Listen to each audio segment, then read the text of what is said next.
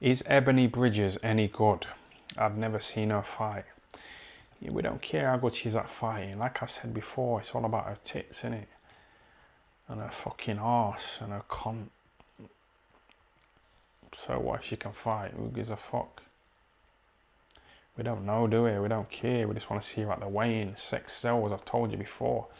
Sex sells, man.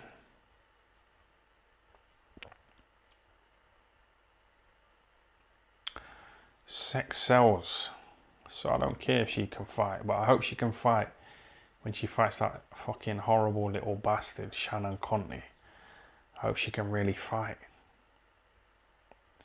I wanted to smash her up.